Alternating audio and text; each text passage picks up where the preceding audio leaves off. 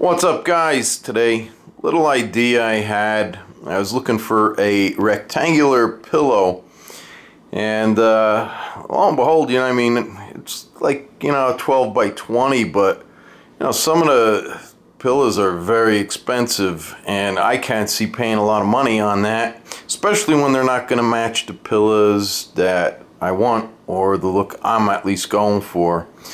And I know you can mix and match, but you know, I want a particular look. So I went to Walmart and I got the same exact mainstay pillow. Another pack of them. You get two for, I think it was like 11.48. And there is a zipper on the very bottom here. So uh, just filled with some batting. Take a look at that. So here's the batting that came out of it girlfriend shaved last night. Pull all that out. And what we're gonna do is these measure 18 by 18, so I'm gonna measure up to where I want it, and then we're just gonna stitch right across it and cut the excess off and restuff it with the batting. All right, so we got about 18 and a half by 18 and a half. What we're gonna do is we're gonna leave it at 18 and a half and we're gonna measure up 12 inches and all I'm doing is taking a piece of masking tape and then I'm going to measure up from here to there and that's how I got, you know, 12 inches on each side.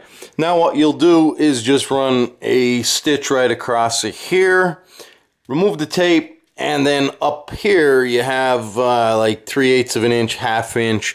We'll move the tape up and then we'll just cut that. Alright, so you can see the stitch here and all I did is eyeball like you know, a half inch here and a half inch over here. We'll just cut this uh, piece of remnant off and then we'll put the batting back in it. All right, so there's the pillow. And uh, what I'm gonna do is I'm gonna add some lace here to it. And all we're gonna simply do is hand stitch it down here and then wrap it over the back and hand stitch it there. Got that on there? All we did is attach it down there and then we looped it around here and uh, just tacked it there and there. All right, so there she is. That's what she looks like.